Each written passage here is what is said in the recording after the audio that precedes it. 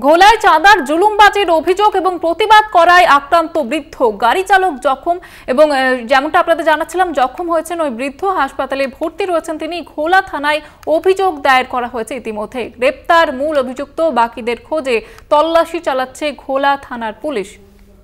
আমাদের সঙ্গে রয়েছে প্রতিনিধি জয়ন্ত মজুমদার। জয়ন্ত, কি অভিযোগ উঠছে?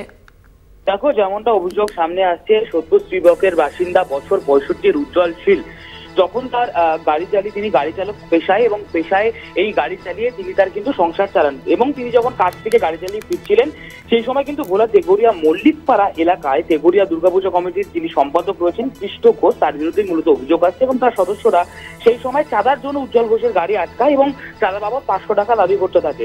সেই সময় উজ্জ্বল ঘোষ দুশো টাকা দিতে রাজি হয়। কিন্তু পরবর্তীতে দেখা যায় যে ওই যে কৃষ্ণ ঘোষ, সেই কৃষ্ণ ঘোষ সে দুশো টাকা নেয় না এবং তার পরিপ্রেক্ষিতে কিন্তু উজ্জ্বল ঘোষের উপর বেমক্কা চড়াও হয় এবং তারপরে উজ্জ্বল ঘোষের সঙ্গে তর্কাতর্কি এবং বচসার পর বচসা থেকে শুরু করে উজ্জ্বল ঘোষকে বেধরকভাবে মারধর করা হয় বলে অভিযোগ। এবং বর্তমানে তাকে আশঙ্কাজনক অবস্থায় নিয়ে যাওয়া হয় পানিহাটি স্টেট জেনারেল হাসপাতালে এবং তিনি বর্তমানে চিকিৎসাধীন তো রয়েছেন এবং গোটা ঘটনার বিরুদ্ধে কিন্তু এই এই যে উজ্জ্বল শীল তিনি কিন্তু অভিযোগ দায়ের করেন ঘোলা থানায় এবং তার পরিপ্রেক্ষিতে কিন্তু ঘোলা থানার পুলিশ অভিযোগের ভিত্তিতে মূল যিনি অভিযুক্ত রয়েছে কৃষ্ণ ঘোষ তাকে কিন্তু গ্রেফতার করে এবং বাদবাকি যারা রয়েছে তাদের খোঁজে কিন্তু ইতিমধ্যেই তল্লাশি অভিযানে নেমেছে ঘোলা থানার পুলিশ।